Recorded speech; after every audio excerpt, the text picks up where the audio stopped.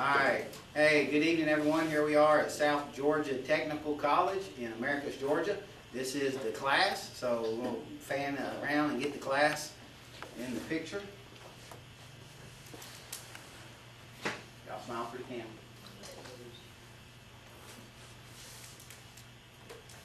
All right. Hey, we live in a great country, don't we? Have you ever been in another place in the world? If you go somewhere else, it'll make you appreciate living here. America leads the world economically. Uh, America is a great military power, a great political power, and the United States leads the world in many ways. However, there's one area that the United States is not currently leading the world, and that is in the area of educating our children. I have some information I want to share with you tonight that I think will be useful to you. Some of the countries that are currently leading the world in education in the field is um, Communist China, Japan, Hong Kong, Germany, as, fell, as far as, um, as well as um, Soviet bloc countries like Hungary. And I believe the reason the success of their students in their countries is greatly dependent on the fact that they allow school choice programs. I mean, they actually allow the, the parents to choose the schools that the students go to. I um, currently have four children. One is in public school and three um, are homeschooled now and had previously been in private school. Because our country was founded on the principles of individual freedom of choice, parents should have the right to choose where their children are educated. Today we're going to look at school vouchers and how they provide student um, and how they provide um, they provide important school vouchers will provide public school and improvement in public school performance.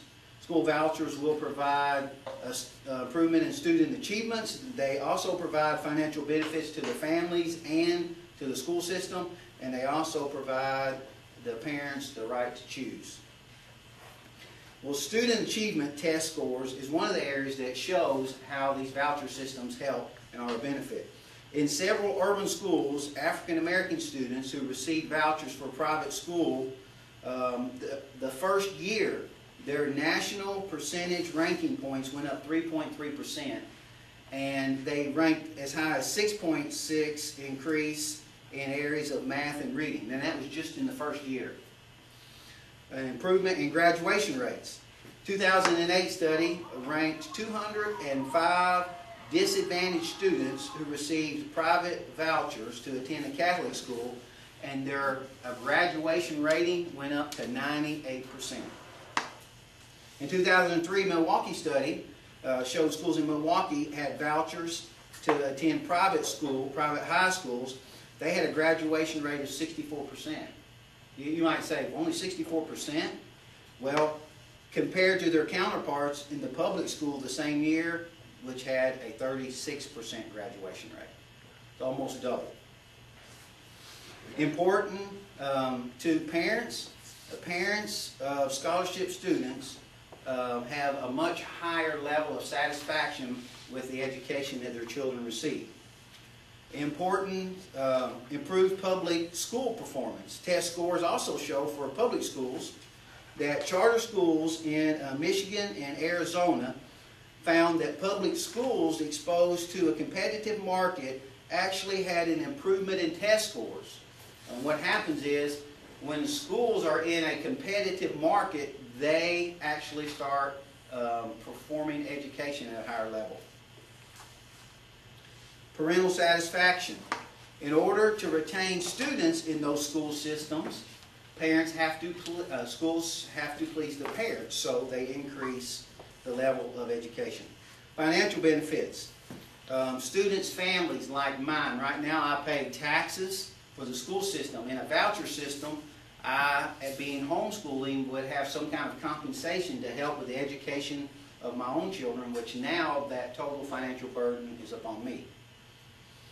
Uh, benefits to the, the education system, it, it, would require public schools to be more um, um, studious with their money that they have.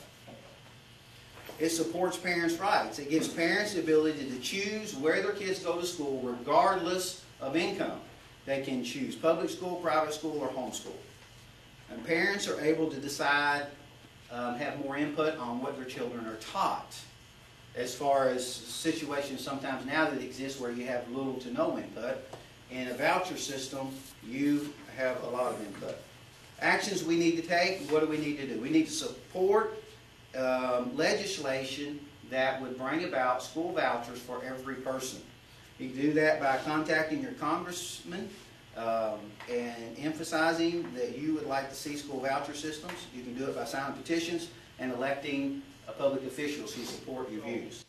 What do we do? We act now. Um, in order to improve the quality of education of students in the U.S., I challenge you and I encourage you to make your voice heard that we would adopt a, a countrywide um, school choice voucher system for every family in America. And we would um, empower America to become a, a um, ranking country in the world market as far as education goes.